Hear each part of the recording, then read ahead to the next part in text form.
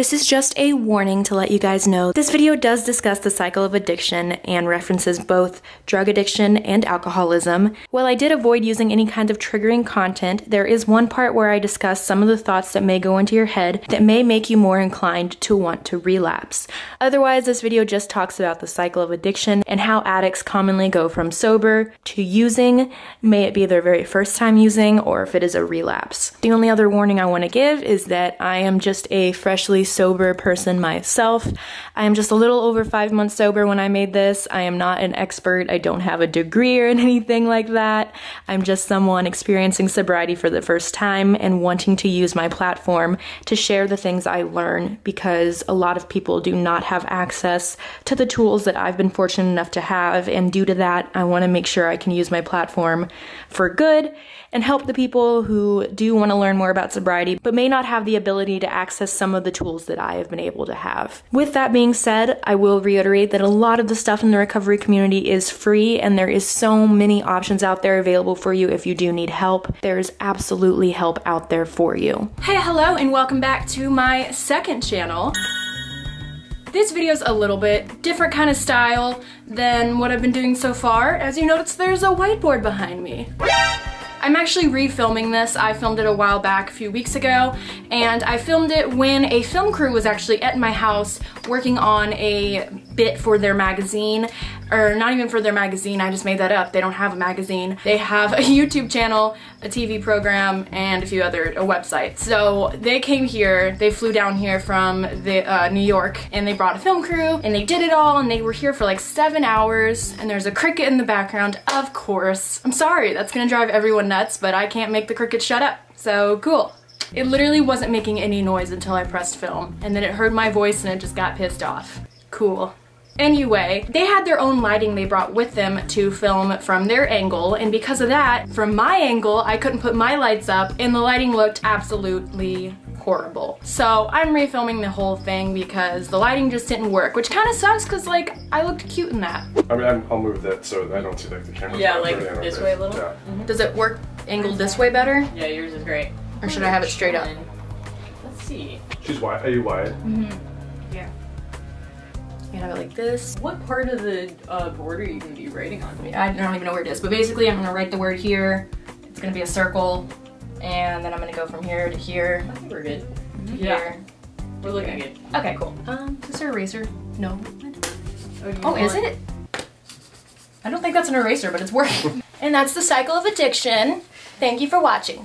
Like, that was a cute look. But anyway, today's video, we are going to be talking about the cycle of burping. That was a weird hiccup.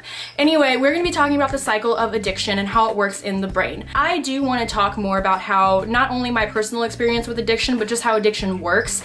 And I tried to like decide in my head where I wanted to start because eventually I do wanna get more into the like scientific side of it and everything, but if I start there, it'll be really overwhelming for people because it would have been way too overwhelming for me to hear all that like day one in rehab. So I'm gonna start with the simple stuff that like would have helped me at the very beginning start to understand how addiction works. I have a lot of really fun stuff planned on this channel. This channel is my personal channel, so it's just gonna have like personal vlogs, my daily stuff, things that don't have to do with animals exactly, but it's also my channel that I wanna talk about addiction a lot on and go through all of that. So I actually am in talks with a doctor that I really, really, really respect. He's a really cool doctor that he came and did some doctor lectures at my rehab and he taught me so much about addiction and he's one of, from what my rehab has said and from what my therapists have told me now in IOP, he's a really, really respected, highly reputable doctor in America. So hopefully he's gonna be coming on my channel. His name is Dr. Boone and I'm in, I'm, I'm speaking with him right now via email about setting that up and he seems to be into it from what we've spoken about. So it looks like that's gonna happen and that's really fun. When I officially get the word that that's gonna happen, I'm going to post something online where you guys can send in some questions and things that you may not understand very well about addiction and I'm gonna interview him with my own questions and with those questions too. So hopefully that'll help a lot of people understand some things that maybe I'm not doing too well at making very clear. So with that being said, I'm gonna go now into the actual video and about how the cycle of addiction works. This is not gonna be very sciencey or anything like that. This is going to be very easy for people to understand. It was very easy for me to understand. Basically, I always knew that addicts didn't have full and complete control over what they did, but I didn't really understand why or how that worked. And in a way, I didn't fully believe it. I kind of did think, you know, I could put this down if I wanted to, and I'm just being stupid and dumb, and I don't understand why. I thought maybe I was just being, um, I don't know what the right word is, stubborn and not wanting to quit just because I was weak. I started to think maybe everyone else was stronger than me and could put down this drug, and I couldn't. I didn't fully understand what was going on in my body that made it so hard to stop.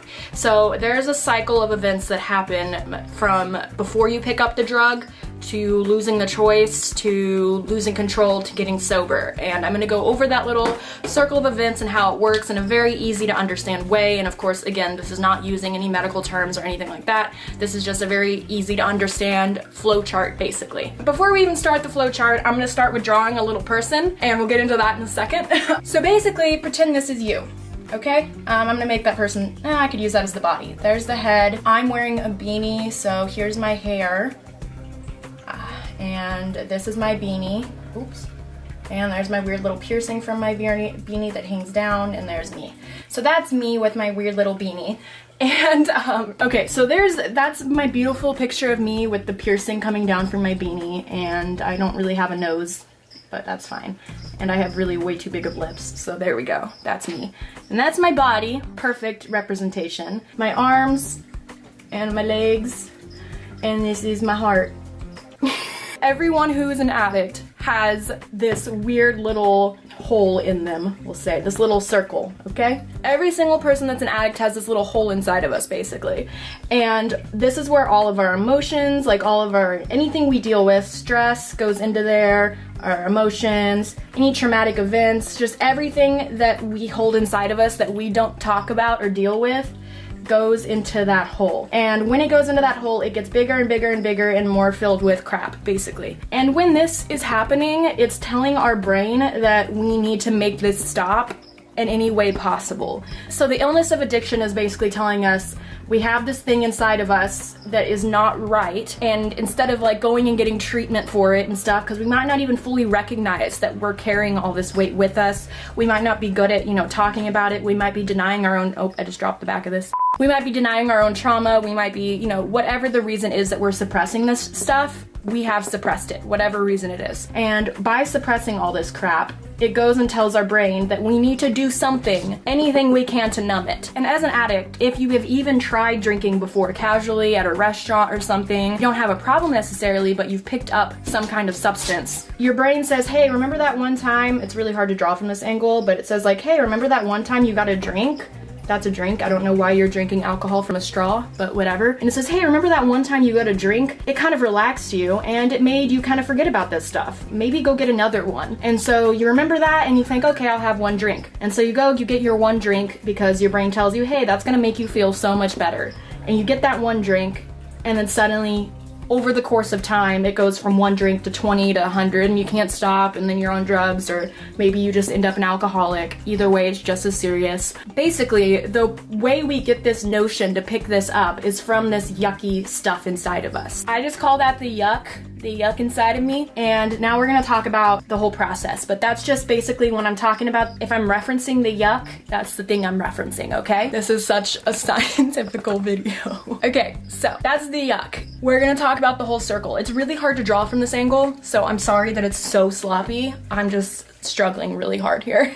Another thing I will add really quick, I don't know if you guys know, but the symbol for like Alcoholics Anonymous and stuff is a triangle. And there's a few different reasons it's a triangle, but one of the reasons is because the illness of addiction or alcoholism is an illness of not only the mind, that's an M, but also the body and the spirit. So that's three different little things, right? And there is a very good reason that it's a three pronged illness.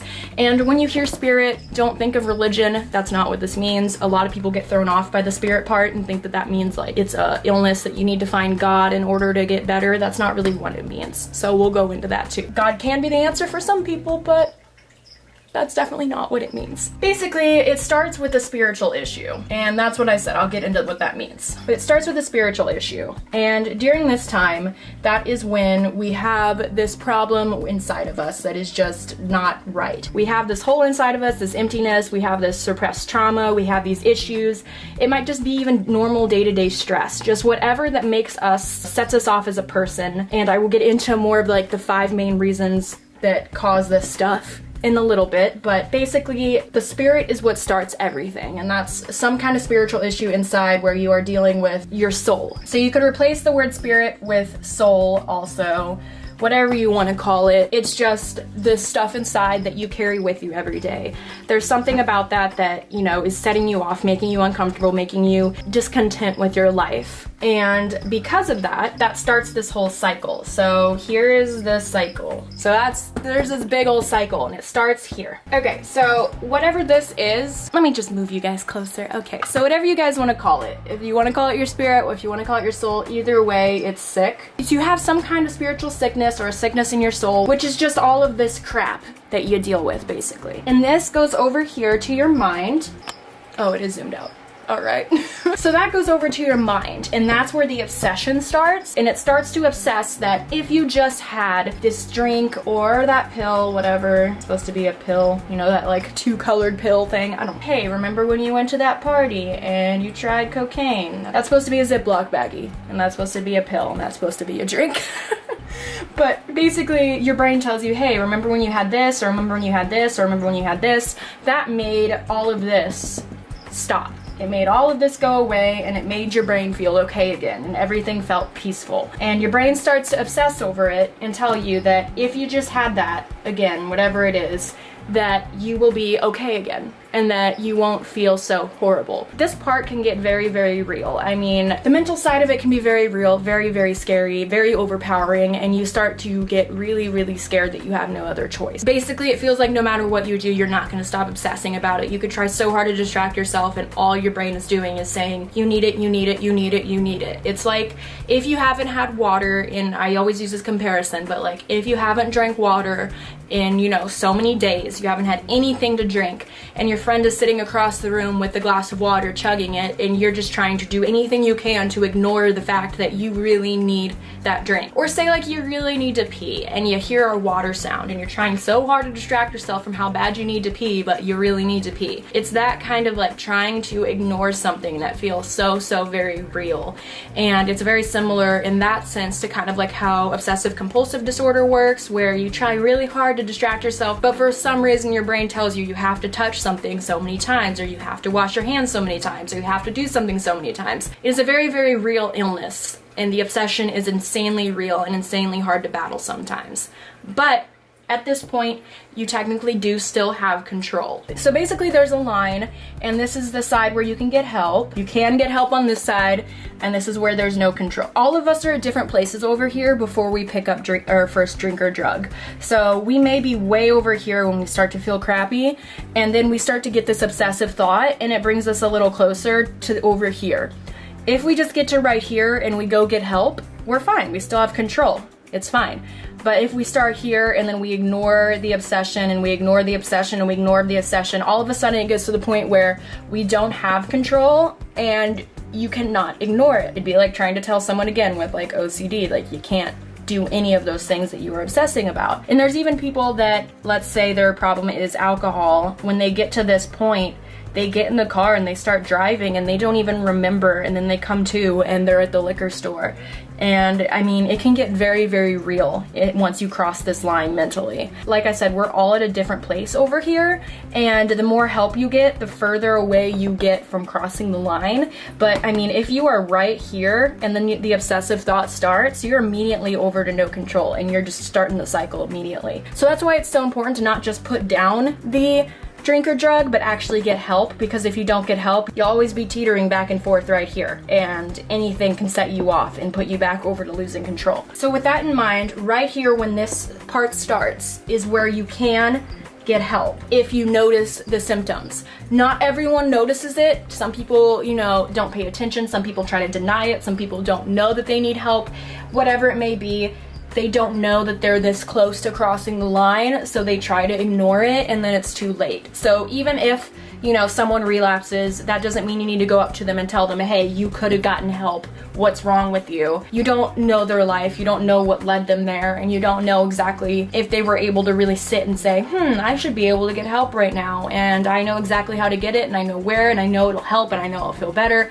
You don't know where they are mentally here, and sometimes all those thoughts don't even happen, and they don't notice that they're getting back into this, and they think that they can still control it, and then they don't they suddenly can't. So just because they do technically, yes, they do have an ability to get help. I do not think that shaming an addict helps whatsoever. I don't think telling them, hey, you could have just gotten help helps. If they pick back up and you tell them that, that just makes them feel more ashamed. That's not gonna help them. So no matter what you think of it, shame doesn't help. So in between this part and the next part is where you lose your control because you go over the line. So if you keep going in this cycle after the obsession, this is where the no choice comes in, where you all of a sudden feel like you have to do it. So all of a sudden, this is where they feel like they absolutely have to do it and that they need it or they will not be able to like breathe. And at the same time as this feeling is happening, that is when the body part comes in. And the body part of the illness is the craving and it's also known as the allergy. So this is where the body part of the illness comes in. So right here we have the, the spirit, the mind, and then the body. And this is where the physical craving starts. So right here, during this time right here is where all of the mental part of the illness goes into an actual physical reaction where it's not just a mental obsession but you actually have a physical craving and this is where you pick up once this is where all the lies happen, where your brain is telling you, if you just have that drink one time, it won't be like that last time where it got really out of hand, because now you know that you have a problem. So now this time you know after one drink you have to stop or something like that. You convince yourself, however it may be, this is what someone does when they're sick. They convince themselves that they have control. Personally, for example, I had a problem with IV heroin where I could not stop every single day. While yes, before that, drugs were still a big part of my life that were not helping my life in any way, I was always able to eventually stop in the past. I'm not still popping pills, I'm not still snorting cocaine, so obviously I was able to stop. Now with IV heroin, I had to go to rehab to stop. So in my brain, I might tell myself I might be able to use cocaine or I might be able to take prescription opiates, but just not IV heroin. And for example, I was dating someone who told me that they technically had not relapsed when they were smoking heroin because their problem was actual IV heroin. And so the addict might convince themselves that, you know, it's okay if I just smoke heroin because I'm not shooting it or whatever it is. It's obviously an illness, it's obviously delusional, and if you heard of anyone that is trying to pick something back up that destroyed their entire life, you would say, oh my god, that's crazy. I mean, say instead of drugs or alcohol, it was there's an actual very popular story in the Alcoholics Anonymous book, and I will read it eventually, but it's called The Jaywalker Story, and it's about a guy that was obsessed with jaywalking. And every single time he jaywalked, he would get hit by a car. It started with just like minor fractures, but it got all the way up to severe bone breaks, and the doctor finally told him, if you keep jaywalking, you're going to kill yourself and you will die. And everyone's like, obviously, there's no point in jaywalking. Why not just go cross the street safely? Safely, but he still does it and he throws himself in front of a car again. And obviously that's delusional. Anyone outside of that situation would look at it and say that person is crazy. But that is what addiction is. It is an illness that tells somebody that they have to do something that they are perfectly aware of how much it ruins their life. They are perfectly aware of the fact they don't have control. But with that, they still do it. And that is because of this whole illness in their body. If you just exchange, you know, drugs or alcohol for, you know, like I said, throwing yourself in front of a car, it sounds a lot crazier that way. But it really is the same thing, and that's why it's printed in the Alcoholics Anonymous book, and I'll read that story later. But like I said, it's this delusion that doing something that absolutely destroys your life will somehow help your brain feel better. And that is because your brain is telling you you need it, and that is because there's even a physical extent to it where your body tells you you need it and it's this whole thing. So I'll get into that more later, but right now we're just gonna continue this. So right now we are at the time where you pick up once after you start having this craving. So you pick up once your one drink, your one pill, your one line or whatever, and it sets off this allergy. And it's this reaction where your body does not respond to it the way that other people's bodies would respond to these things. When I say that, there are a few people that got this very misconstrued online when I said this. I will have, like I said, the doctor come online and talk about this, but in rehab, we were taught that about 15% of the population struggles with addiction and that the other 85% of people have normal brains.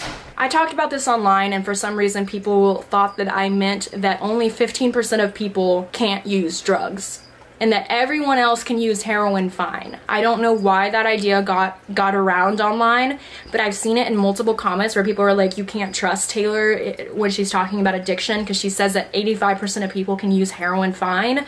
I never said that.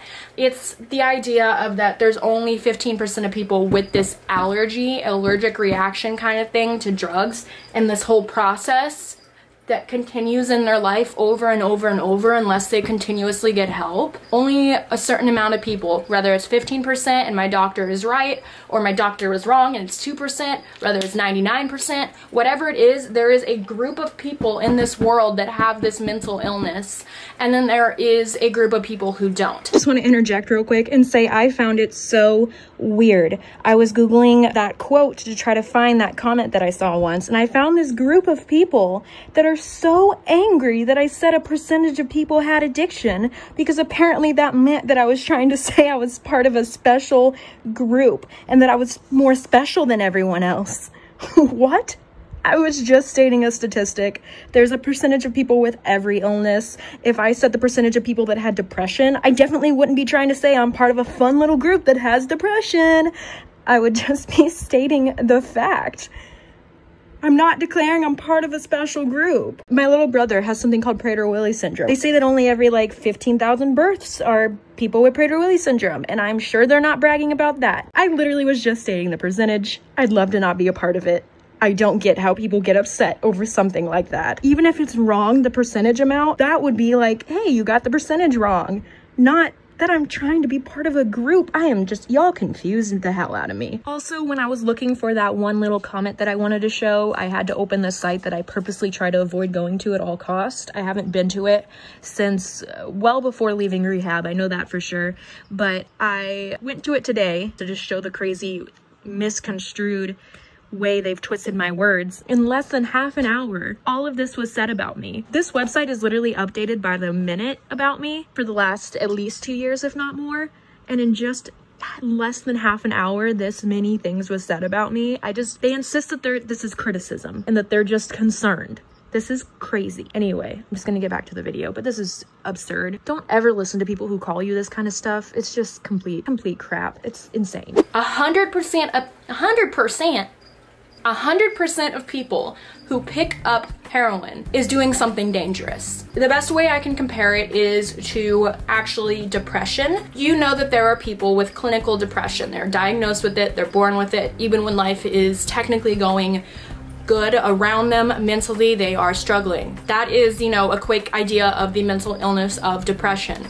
Now, not everyone has that, but everyone can get depressed. Everyone can go through something in their life, traumatic or hard enough to make them go into a depression. But not everyone has the mental illness of depression. Just like everyone can have anxiety and experience anxiety, but not every single person has clinically diagnosed chronic anxiety. So anyone that picks up heroin over and over and over again is going to get addicted. Anyone that picks up opiates again and again and again is going to get addicted. Anyone that keeps drinking is gonna have a problem. Anyone that snorts cocaine every day is gonna have a problem. But not every single person is born with this mental problem with drugs, this mental obsession with alcohol or drugs or whatever it may be for this person.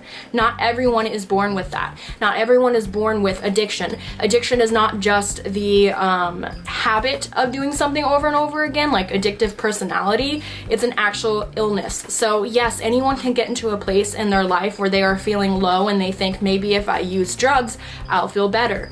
Anyone can get in that place and that is still just as serious. They still need to go to rehab and get off the drugs and then have a healthy life after that. When someone does not have the mental mental illness that this entails, when they get off this drug that they are dependent on, they will feel okay and they will feel fine and they will feel better. For example, if someone gets prescribed pain meds and they take them so many times that, that it hurts to be without them because they are addicted, if you wean them off safely and you get them off the drug, they will be okay and they will not experience life sober the way that an addict experiences life sober. Someone who isn't an addict may not have to get this much help after they get off of their drug. They might have used a drug for a year because, you know, they like go to parties and the party scene and stuff. They realize it's not good for them and so they can put it down.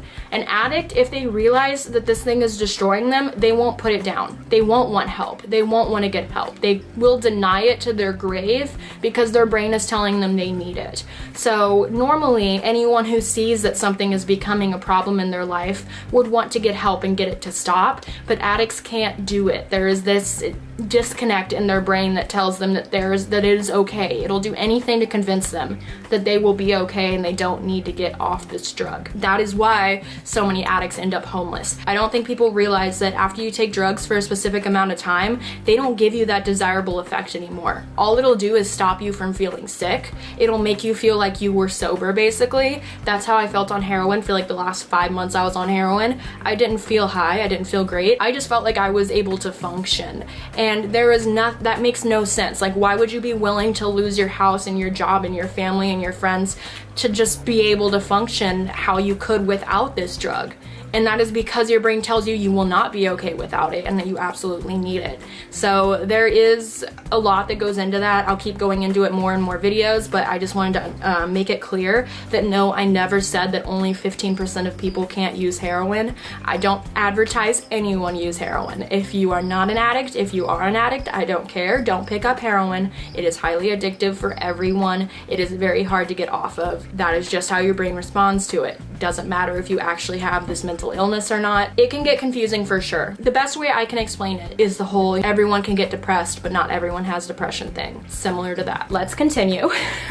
I'm sorry for going on these rants. I'm very passionate about this topic. So we are right here again where we just picked up the first drug and it set off this allergy where our brain is now telling us uh, just one more or okay uh, just pick up you know maybe again tomorrow night or it kind of starts maybe slowly where you tell yourself okay only on weekends will I do this or only on Sundays at 4 p.m. will I pick up. But it starts this reaction where your brain starts to say you need it and you start planning out every single time you can have it, start you know, obsessing over exactly when to get it, it starts becoming a huge focus in your life. And that sets off this spree. So that sets off the spree. And the spree can be any period of time. It could start very, very slow, gradual. Like I said, you start on weekends only. You just start incorporating it back into your life. Having a drink, you know, every, you know, whatever, three or four months at a party is not a sign of an addict or an alcoholic, but a sign of an addict or an alcoholic is this whole process of obsessing over it, feeling like you need it, setting off this reaction where you feel so sick without it. You start to obsess about it. You start to think, uh, when can I get it? When can I get it? When can I get it? And this all happens again from this thing inside of you. So you're on this spree now where maybe it starts gradually, maybe you go right into it.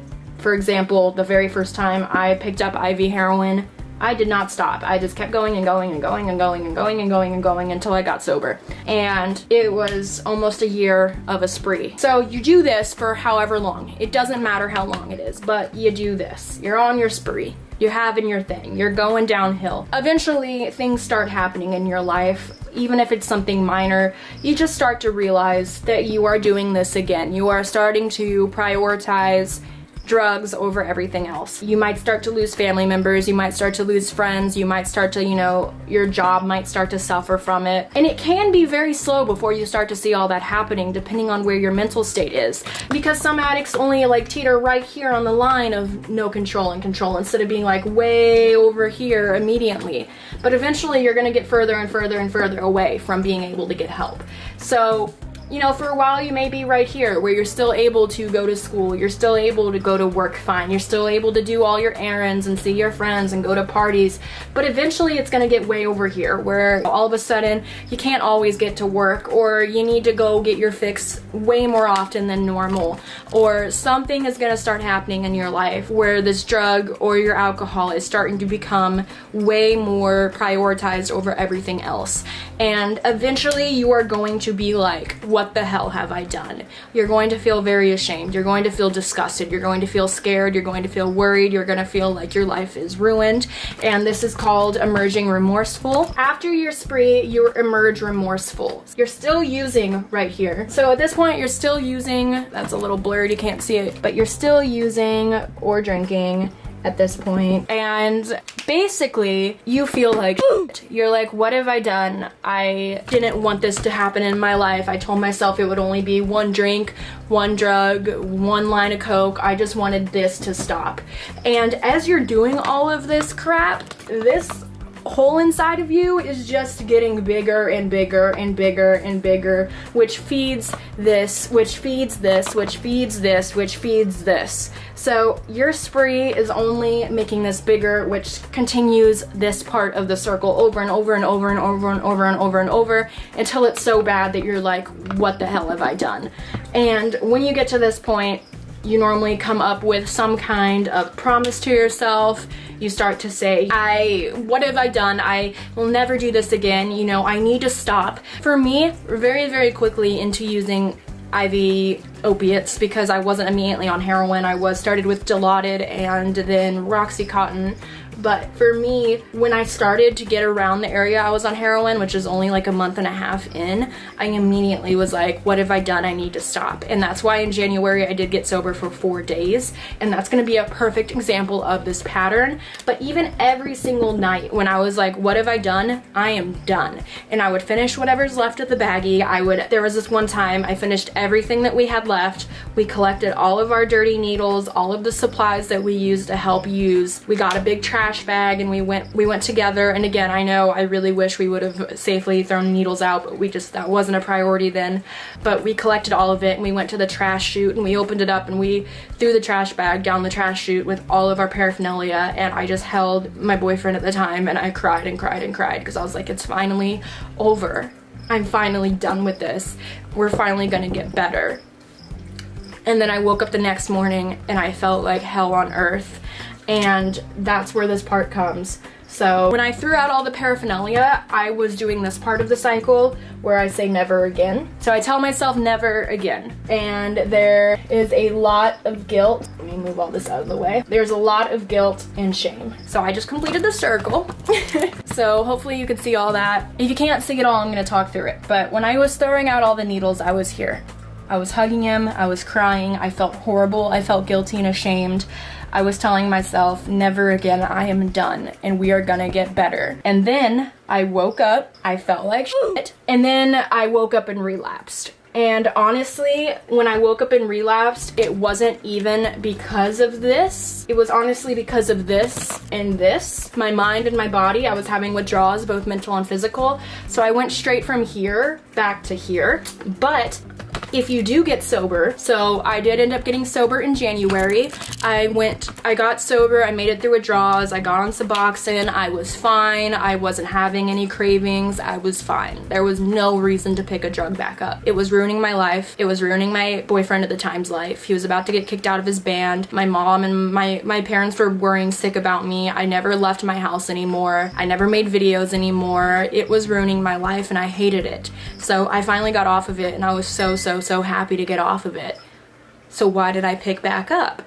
Well, so I got to Disney World and all I had done at this time was put down the drug. I put it down, which is huge. It's an, it's an amazing step and a huge accomplishment to do. But I put down the drug, but I did not do anything to fix all this.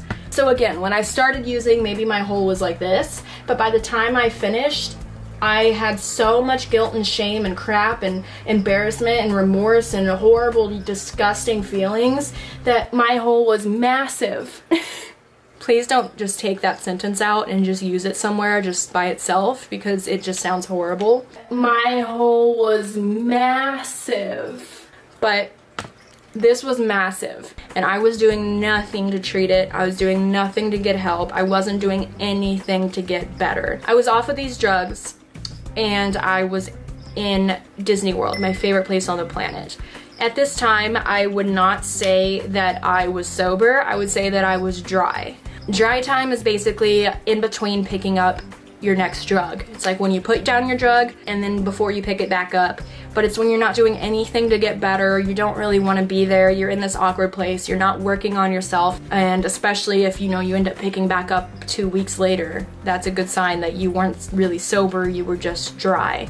So I actually picked up four days later. I went to Disney World for about three days, and then I told my mom I hadn't left a hotel once. I stayed in the hotel the whole time.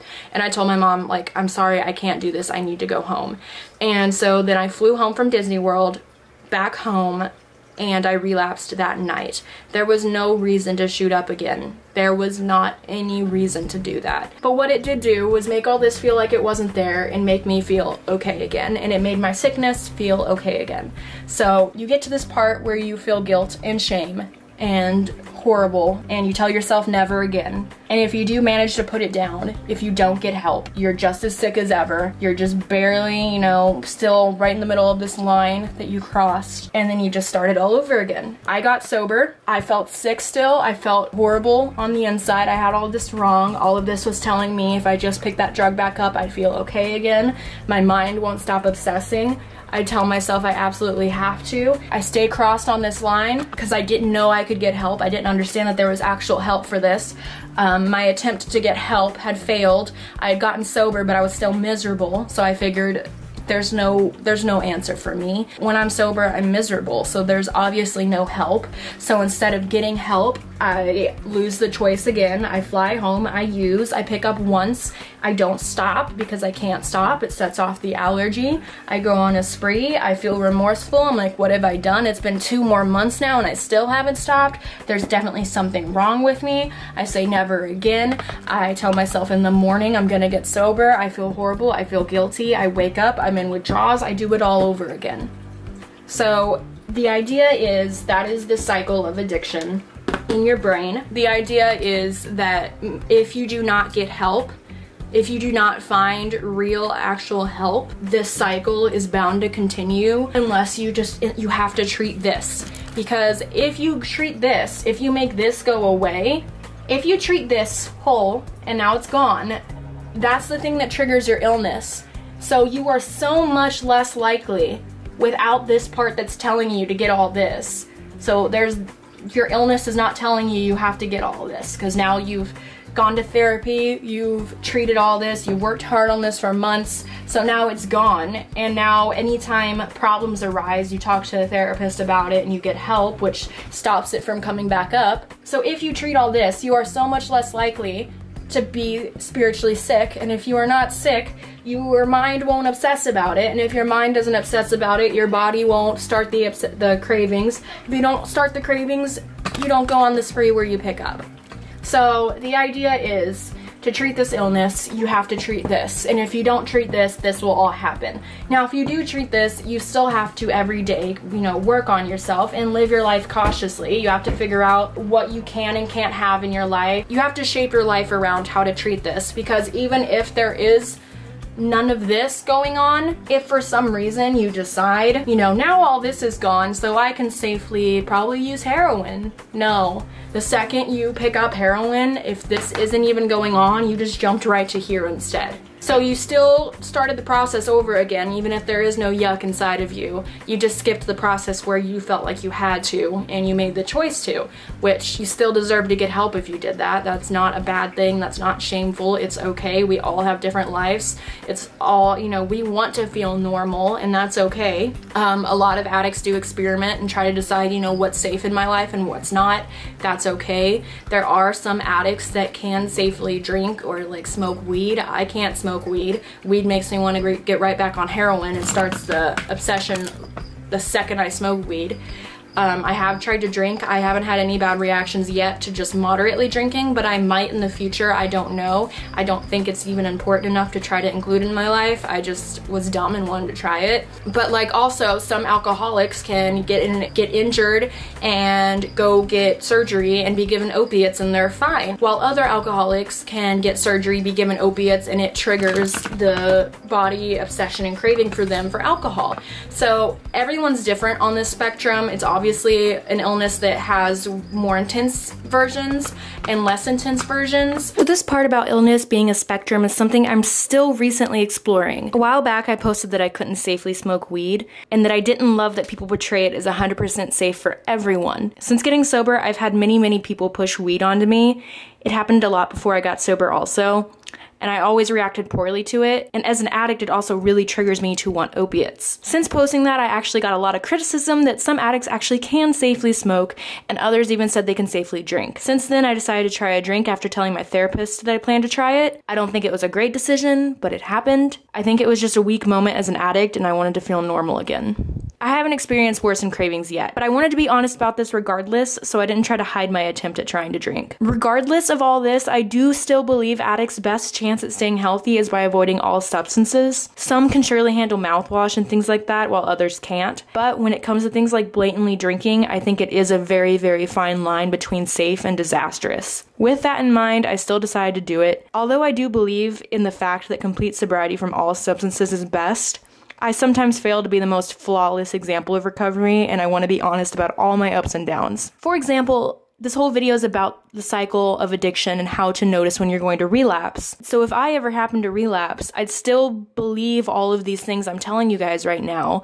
and how I could potentially have gotten help if I would have paid attention. But if I relapse, I relapse and I'm gonna have to be honest about that. So far, everything's been good though, and I really hope everything continues to be, but I just wanted to make it clear that some of the things I do believe in, I won't always be perfect at doing myself because I'm learning along with everyone. I do think complete abstinence from all substances is best. I did decide to experiment pretty early and therefore I wanted to include it in here. I still don't know how I feel about my attempt to drink and I honestly have zero plans to ever try it again, but I'll have to wait a few months to be able to fully tell you about all of this. The reason for that is if I try to critique my own illness in the moment of it happening, it's not going to be 100% accurate. Just like when I was actively trying to get clean from heroin, I was trying to tell everyone I was okay when I wasn't. So, if the drinking was a bad decision, I'll need a few months to really fully reflect on it, but I am trying to be open and honest about it. And I do still consider myself five months sober from heroin, even though I tried drinking. I don't try to portray myself as five months sober from alcohol. I only try to say I'm five months sober from heroin, and therefore I don't feel like I need to start over at day one or anything. That's a whole nother story. Anyway, I just wanted to be very clear about all this is that my opinion on this might become a lot more firm in the future. While right now I'm still indecisive because I don't want to say that the people who can safely do these things are wrong. And then I'm personally even trying it myself and I don't know if it's right or wrong either. So anyway, I need a while to figure that part out. But everything that I do talk about in here isn't from my own opinion, it's from what I actually learn in meetings and stuff. So just know that what I decide to share as actual facts about recovery is not from my own opinion. I'm way too early in sobriety to actually know that kind of stuff as fact. Everything I do talk about is stuff I learned from actual experts in this not just my own brain. No matter where you are on the spectrum, I don't recommend trying anything unless you are in like a group that's gonna help you and support you because say you do wanna experiment. For example, I really just for some reason wanted to see how I would react to taking a drink if I would have taken that drink and it would have set me off on this and I wasn't getting help, I wouldn't tell anyone. I would just start this whole process over again. So before I started to even, before I even tried the drink, I let my therapist know that I was gonna try to.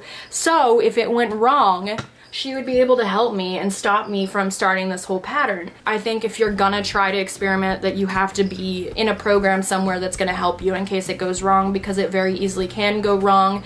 There's some addicts and alcoholics that can't even have mouthwash without it triggering them, which is another really good example of how all of this can start without you even knowing it. You have all this hole inside of you and you're an addict or an alcoholic and you're like having mouthwash or maybe wine at dinner with your fam uh, family and friends. That's how it can innocently start because you're just doing things that you don't even think are going to affect you. And then all of a sudden your body's telling you like you need it you need it you need it. And you're like why am i obsessing over this? For me it actually did start. I was very spiritually sick. I had a lot of issues in my life and i wasn't treating any of it. And i was at a party in california. I tried a little bit of vodka and it just made me think like oh my god maybe i want more.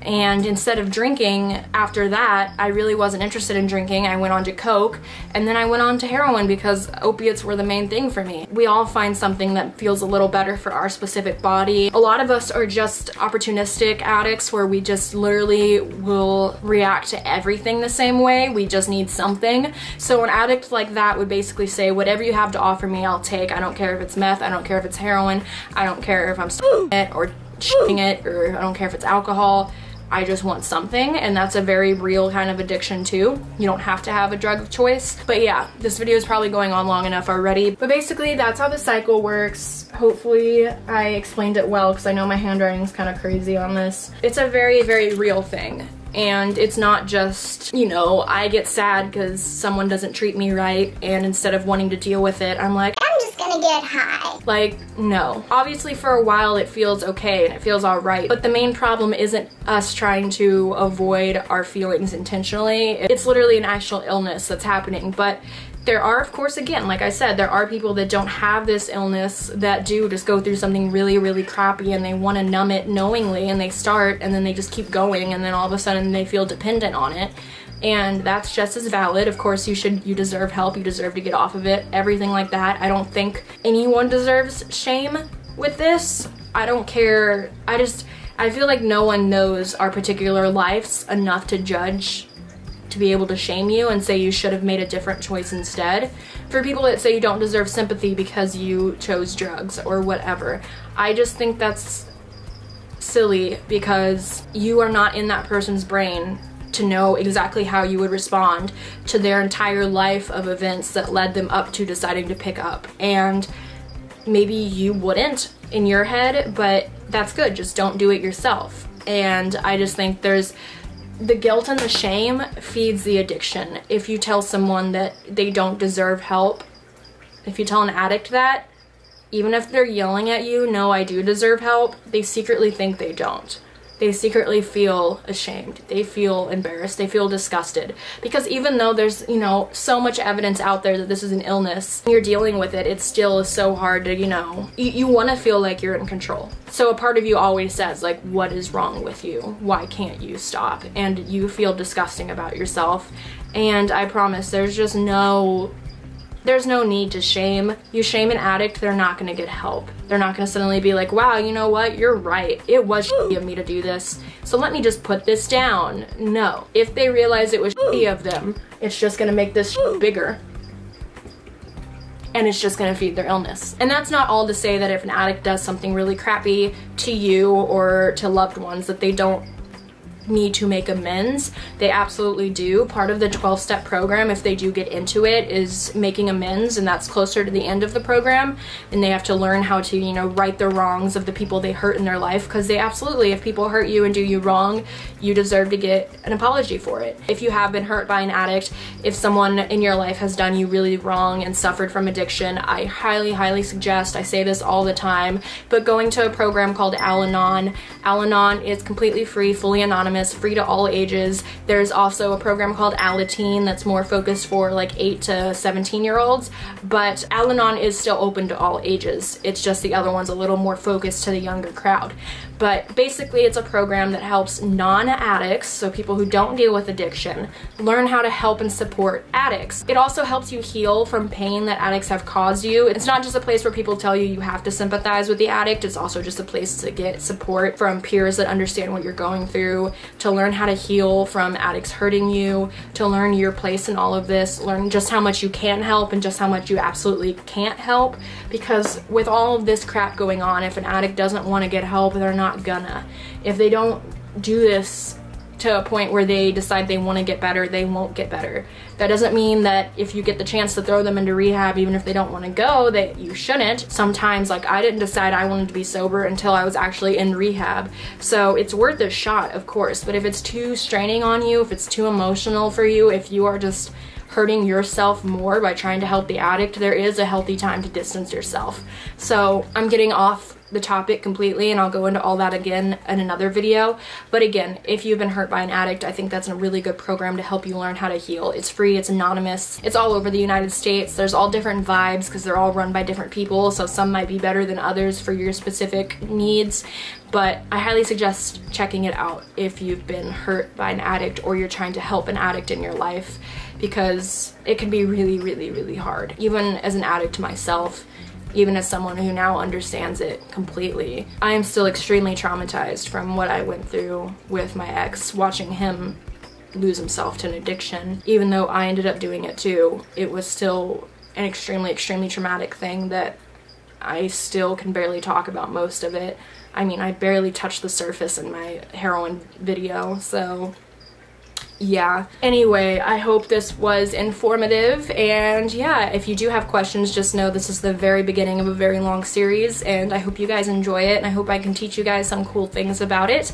And thank you for checking out my channel. Make sure to check out my other videos if you have. This is my second channel. I do have a main channel where I post like animal content, of course. So you can check that out too and I will see you guys next time. I love you guys and thank you for watching. I don't know what I was about to write. Cool. Bye. Please don't tell someone that's an addict that they just need therapy and they'll be fine. Like it is a whole thing and it's a really huge process and trying to get sober is very painful and hard, especially in early recovery. There's a lot of urges that are really, really hard to deal with and it's not something easy to do. It's a really big process and that's why a lot of people relapse is they think they're dealing with their emotional trauma, but they actually have so much that they don't even know about and it sneaks back up on them. It's a really sneaky, sneaky disease where you really think you're okay or that you're better because you put down the drug, but there's actually still so much going on. And then before you know it, you have no clue why, but you're using again. So there's a lot that goes into it. A lot of people, when they get sober, aren't actually fully ready to get into all of their issues and that causes them to go right back out. Um, a lot of people do try their hardest but still just don't get there. So I'm not saying it's as simple as go to therapy and you'll walk out cured. It's not it, but it's just a visual on how it does work. But I just wanted to stress that it is a very, I very, very much simplified it. And that's all I want to stress before I end this video because I don't want people to be like, oh, if I just go see a therapist one time, I'll never have to use again. Because no, it it's a whole process not just the spirit, it's the mind, body, and spirit. So it's not just deal with the spirit stuff and you're fine. You still have the physical cravings, the mental cravings and urges that you have to deal with, but the idea behind it is, is if you deal with the spiritual stuff, the rest of the stuff gets more manageable and easier to deal with. That doesn't mean it actually is easy. It's just easier. So, yeah. Um, I hope I kind of explained that well. I just spit. Um, I don't want to spit on people. Either way, hopefully this whole series can help some people that are either struggling or know someone that's struggling or just wants to learn about addiction in general that's all I want to do. Um, I feel really lucky and fortunate with all the help I've got and I just want to give that help back out to you guys. Because another really big part in sobriety is the idea that if you give back to others it makes you more capable to stay sober by helping others. So um, yeah. That's that's today's video. I hope you guys enjoyed